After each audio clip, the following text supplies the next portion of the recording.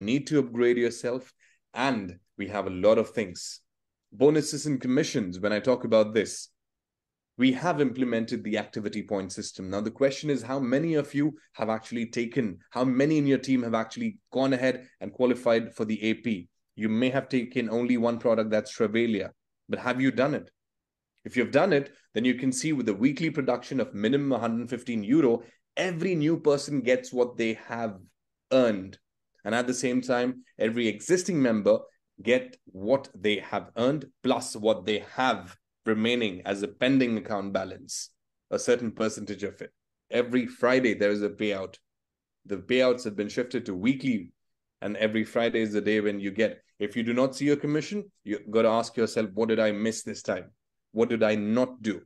And if you've missed or if you haven't done something that is written from here, then you can directly come to me. You can directly come to the company and ask. You don't really have to bother to your upline as well on this. You have to directly come up to me and ask me, Raj, what did I not do? Why did I not get paid? Having said this, I know most of you are also waiting for your residual. The residual will be released between uh, today and until 10th or 11th of this month. So do not worry. Nowhere is your residual going out. It will be paid into your account. But due to certain technical bugs that we had, unfortunately, in the system, we had to even update and upgrade ourselves. And therefore, we didn't want to have some random numbers, but uh, audited third party number in order for us to give the right figure to each and every member.